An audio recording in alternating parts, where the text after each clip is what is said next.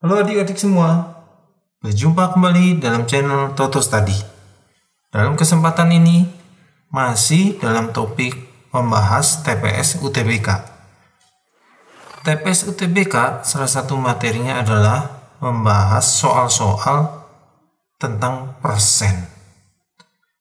Uh, hari ini kita mau menjawab beberapa soal supaya kita tahu eh, bentuk-bentuk uh, seperti apa yang sering keluar di UTBK. Nomor satu, jika 5% dari suatu bilangan adalah 6. Jadi 5% dikali X, anggap aja bilangnya X, sama dengan 6. Kalau gitu, 6 dibagi 5%. Berarti 6 dikali dibalik 100 per 5. 100 per 5 itu 20 Berarti 6 kali 20. Berarti 120. Berarti bilangan itu 120. Ditanya 20% dari bilangan tersebut. Kalau gitu 20% dikali 120. Nanti nolnya kecoret jadi jawabannya 24. Dijawab yang C. Bagaimana? Mudah ya? Mudah. Beberapa soal mudah. Nilai 7 merupakan 35% dari bilangan apa? Oh, berarti begini. 35% dikali suatu bilangan, jawabannya 7. Kalau gitu X-nya 7 dibagi 35%. Dikali terbalik, 100 per 35. Oke, 100 per 35 saya coret aja di sini. 7 dengan ini dicoret jadi 5. Jadi 100 dibagi 5 jadi bilang itu 20 dipilih? Yang B. Oke kita soal berikutnya. Oke. Toko memberi potongan harga 45% dengan tambahan potongan 15% setelah potongan harga pertama. Berapakah potongan sebenarnya? Oh berarti ada dua jenis potongan ya yang potongan pertama itu 45% dari 100% ya. Ya jadi 45% ya. Yang kedua. Nah, ada tambahan potongan 15% setelah potongan pertama. 15% dikali Nah, kalau sudah potongan pertama kan potongannya 45%. Berarti harganya tinggal 55 persen. Gimana? Bisa ya? Nah ini saya bikin gini aja 15 100 55 persen. Tuh dicoret-coret bagi 5 11 bagi 5 20 15 dicoret dengan 20 itu nanti kalau dihitung bagi 5 3 bagi 5 4 kali 11 persen. Berarti 33 per 4 persen. 33 per 4 persen itu 8 8 itu 32 8,25 persen. Nah kita sudah siap untuk menjawab.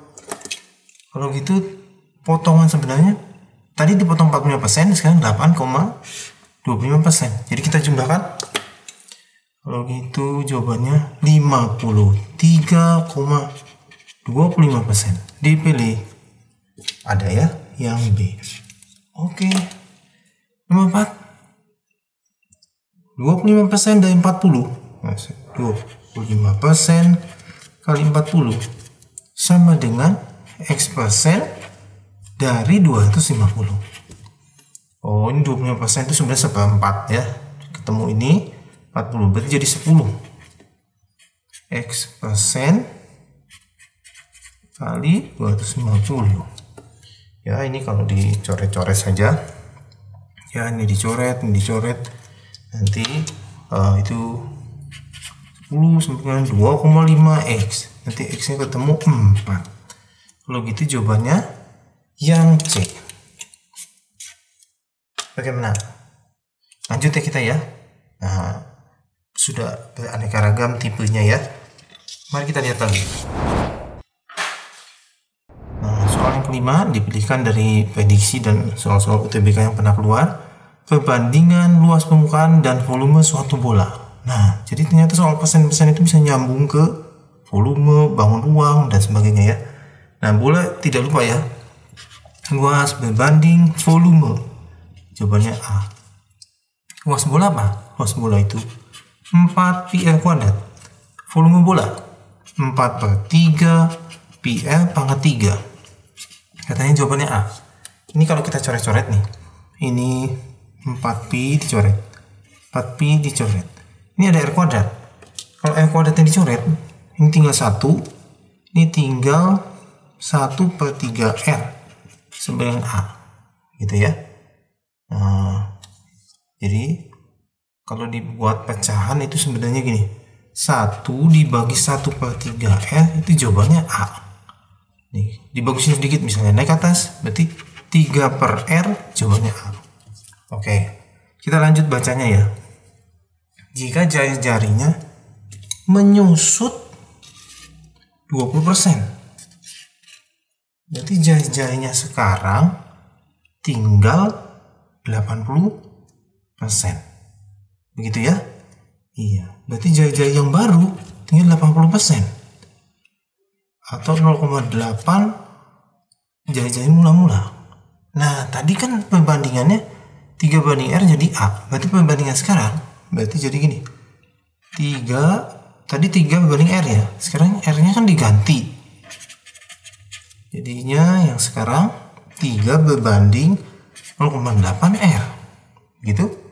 Nah kalau saya ubah supaya bentuknya mirip gitu 0,8 R kita pisahkan 3 per R ini 1 per 0,8 0,8 itu kan uh, nah aduh salah tulis ya 0,8 itu 8 per 10 ini 3 per R naik ke atas itu 10 per 8 3 per R ini jadinya 1, 2, 5, 3 per R itu kan A.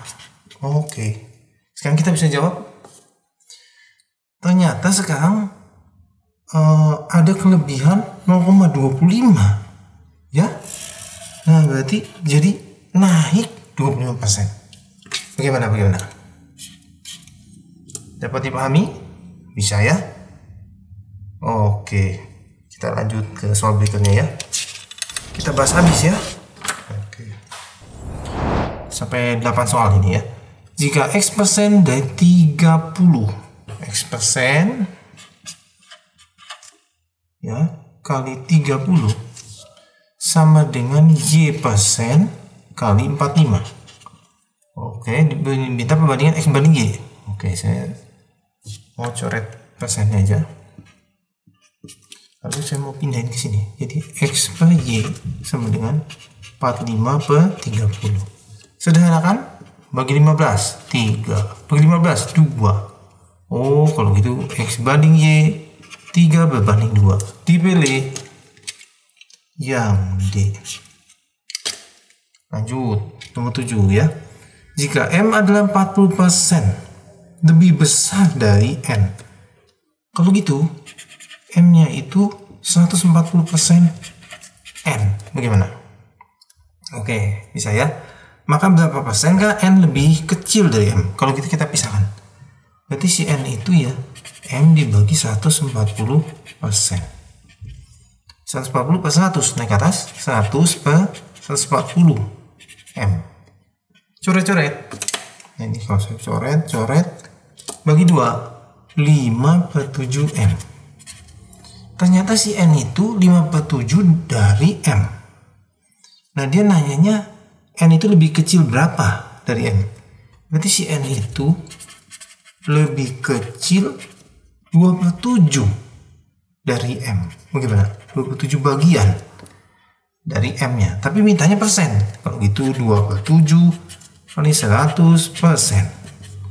Kalau dihitung 200 per 7 persen. 200 bagi 7 berapa?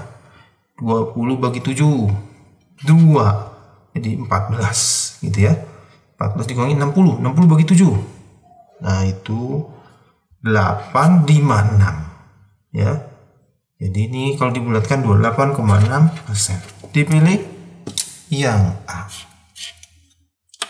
satu soal terakhir ternyata soal pesan-pesan UTBK juga ada yang nyambung-nyambung mirip ke diagram Venn. Oke, kita coba ya. Nomor 8. Sebuah kelas berisi 40 siswa. Oke, 40 siswa ya. Ini ada 40. 70% dari siswanya laki-laki. Oke. Langsung mau saya hitung ya. Berarti laki-lakinya 75% kali 40. 75% dari 40 itu jadinya jawabannya 30. Kalau gitu perempuan berapa? Perempuannya 40 kurang 30. Berarti cuma 10 orang. Ya. 40% dari siswanya suka matematika. Oke. Berarti berikutnya ada yang suka mate 40% dari siswa ya dari 40 kalau dihitung jawabnya 16 orang. Cuma 16 orang ya dari satu kelas yang suka mate. Dan dari siswa yang menyukai pelajaran matematika nah, berarti dari yang suka mate ini 25% nya perempuan. Oh ya berarti ini yang suka mate dan dia itu anak perempuan. Berarti 25% kali 16 kalau dihitung ini 1 per 4 jadi cuma empat orang anak perempuan yang suka mate. Berapa jumlah siswa laki-laki tidak suka mate? Nah, jumlah laki-laki yang tidak suka mate ya. Berarti yang laki-laki suka matematika. Suka-suka matematika itu uh, berarti tadi matematikanya suka matematika 16 ya. Berarti 16 dikurang 4. Berarti 12 orang laki-laki yang suka matematika. Tapi yang dimintanya tidak suka matematika. Kalau gitu, pria atau laki-laki tidak suka mate. Laki-laki semua ada 30 yang suka mate cuma 12. Begitu ada 18 anak laki-laki tidak suka mate. Dia pilih yang ini. Bagaimana adik-adik? Baiklah. Uh, cukup sampai di sini pertemuan kita hari ini. Semoga pertemuan kali ini membawa pencerahan bagi kita semua. Sampai berjumpa di kesempatan berikutnya. Semangat, semoga semuanya berhasil.